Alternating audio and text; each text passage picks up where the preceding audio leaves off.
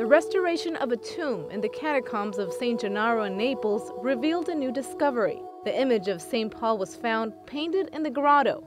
It shows a disciple turning toward the deceased with an expressive face, seemingly honoring the person.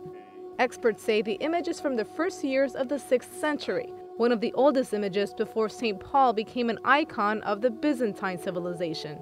The earliest image of St. Paul is from the 4th century. It was found in the Roman catacomb of St. Thecla.